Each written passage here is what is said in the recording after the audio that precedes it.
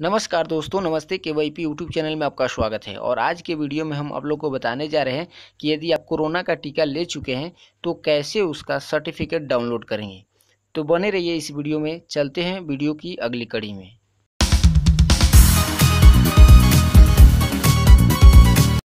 तो जैसे कि आप देख रहे हैं कि हम आ चुके हैं गूगल क्रोम में और यहाँ पर हम टाइप करेंगे CoWIN dot G O V dot in.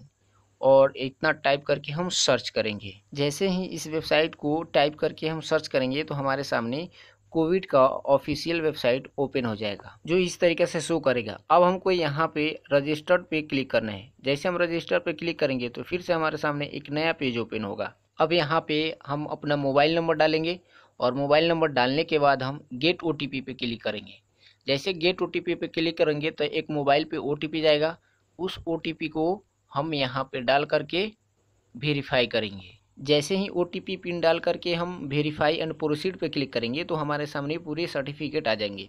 यानी एक मोबाइल पे को वैक्सीन लेने के लिए आपको चार रजिस्ट्रेशन अधिक से अधिक करा सकते हैं। तो जितने भी रजिस्ट्रेशन हुए होंगे, चार, दो, तीन या एक वो सारे सर्टिफिकेट आपके मोबाइल पे आ जाएँगे। जैसे आप देख रहे हैं जी, बहुत सारे नाम का सर्टिफिकेट हमारे मोबाइल नंबर पे है, वो सारा शो कर रहा है। तो अलग अलग नाम है। तो इस तरीक़े से आपके मोबाइल नंबर पे जितना भी रजिस्टर्ड हुए होंगे, वो सारे चीज़ सो जाएँगे। आप यहाँ देख रहे हैं डोज पहला लगा हुआ है, दिखा रहा है, और डोज दूसरा जो है, चौरासी दिन पे लगेगा, और सर्टिफिकेट का ऑप्शन दे रहा है, जहाँ से हम सर्टिफिकेट डाउनलोड कर सकते हैं। उसके बाद हमको यहाँ शो कर रहा है, जो कोविशील्ड लगा हुआ है। तो यहाँ कोविशील्ड के भी बता रहे हैं कोविशील्ड लगा हुआ है। तो इस तरीके से आपके मोबाइल पे भी जितने भी कोवैक्सीन के लिए रजिस्ट्रेशन हुए होंगे, उनके सारे सर्टिफिकेट यहाँ शो करेगा। अब आप यहाँ से अपना सर्टिफिकेट डाउनलोड कर सकते हैं और सुरक्षित कर सकते हैं और फिर चौरासी दिन के बाद जा करके आप कोरोना का दूसरा टीका ले सकते हैं। आई होप कि आप समझ गए होंगे कि किस तरीके से कोरोना टीका का सर्टिफिकेट डाउनलोड कर सकते हैं।